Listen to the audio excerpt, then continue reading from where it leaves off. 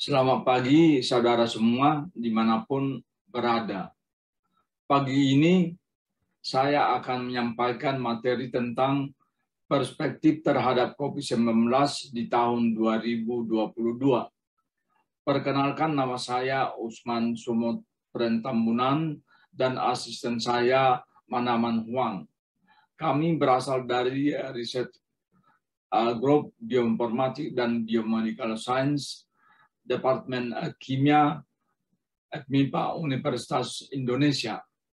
Materi presentasi kali ini merupakan gabungan dari beberapa sudut pandang seperti ilmu medis, ekonomi dan politik, sosial budaya, dan lingkungan.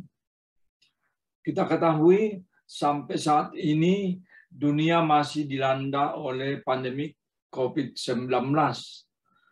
Virus penyebab COVID-19 diduga berasal dari salah satu pasar tradisional di Wuhan, China. Setidaknya sudah ada 275 juta kasus tercatat di seluruh dunia dengan total kematian 5,3 juta. Pada slide ini kita dapat melihat keberagaman nukleotida pada genom SARS-CoV-2. Terlihat bahwa gen S memiliki tingkat keberagaman tertinggi dibandingkan gen lainnya. Hal ini juga menjadi salah satu tantangan paling sulit dalam pengembangan vaksin untuk SARS-CoV-2. Ah, kita perhatikan bahwa mutasi yang terjadi menghasilkan banyak lineage baru. Menurut informasi yang tersedia pada WHO, terdapat beberapa lineage yang diklasifikasikan dalam beberapa kategori seperti varian of interest, varian of concern, dan varian under monitoring. Pada slide ini bisa melihat varian lambda dan mu berada pada kategori varian of interest. Di sini dapat dilihat lineage yang dikategorikan sebagai varian of concern. Dan pada slide ini dapat dilihat lineage yang menjadi varian under monitoring.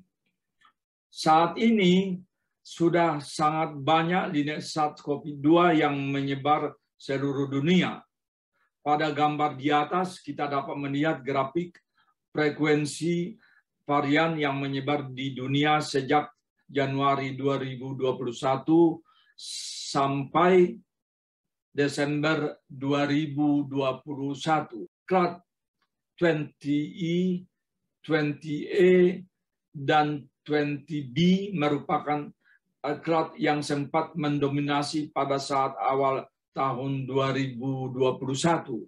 Namun sejak varian Delta yang diketahui muncul di India, varian ini menyebar dengan sangat cepat di seluruh dunia yang menyebabkan varian ini menjadi salah satu varian yang paling mendominasi bahkan sampai saat ini. Pada grafik ini kita dapat lihat bahwa kasus infeksi oleh varian Alpha beta dan hama sudah nyaris tidak terdeteksi lagi. Pada akhir November 2021, varian baru yang muncul pertama kali di uh, Botswana mulai menyebar di beberapa negara di Afrika Selatan. Berdasarkan laporan sebelumnya, varian baru ini mendominasi sampel dengan sangat cepat. Hal ini pula yang menyebabkan Organisasi Kesehatan Dunia WHO mengubah status varian ini menjadi varian of concern dari varian of interest. Varian yang diberi nama Omicron ini memiliki potensi yang sangat besar untuk mendominasi varian yang menyebar di dunia di masa depan. Nah, sekarang muncul pertanyaan, apakah virus SARS-CoV-2 ini akan semakin berbahaya atau semakin tidak berbahaya. Nah, besar kemungkinan akan semakin tidak berbahaya. Hal ini disebabkan beberapa hal seperti vaksinasi, obat baru yang dapat digunakan dalam pengobatan COVID-19, dan pengetahuan yang lebih baik untuk SARS-CoV-2 ini. Vaksin merupakan senjata paling ampuh dalam hal melindungi diri kita dari infeksi SARS-CoV-2. Saat ini di beberapa negara, vaksinasi sudah merupakan kewajiban untuk bepergian, bekerja, maupun melakukan aktivitas lainnya. Ada sembilan vaksin yang sudah disetujui penggunaannya oleh, oleh WHO.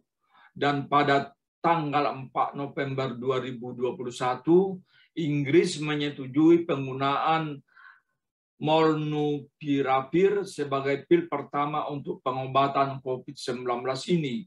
Sampai saat ini terdapat beberapa obat dan vaksin yang sedang diuji pada uji klinis di seluruh dunia.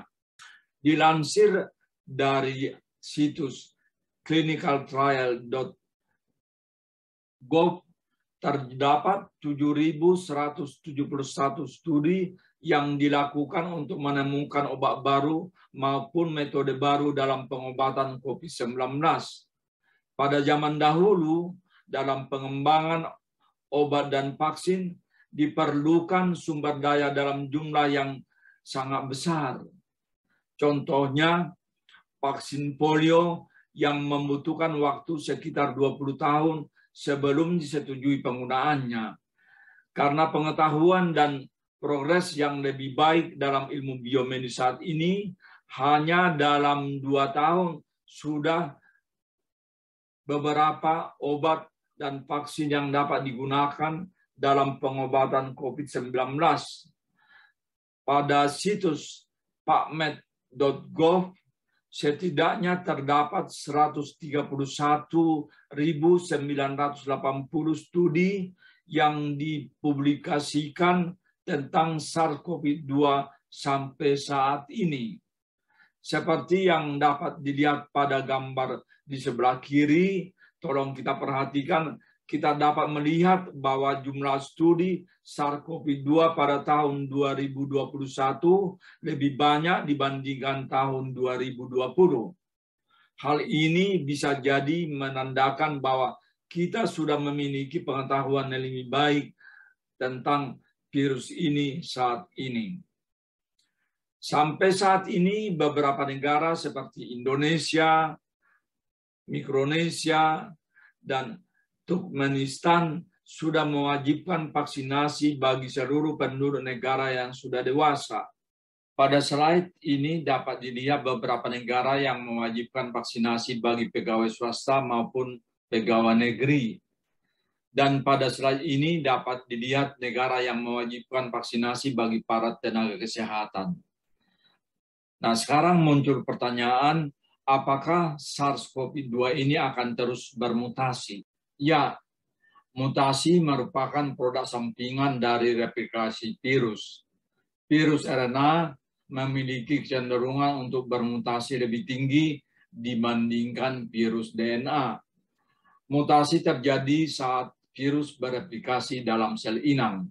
Mutasi bisa jadi mengubah bagaimana cara virus berinteraksi dengan sel inang, termasuk sistem imun.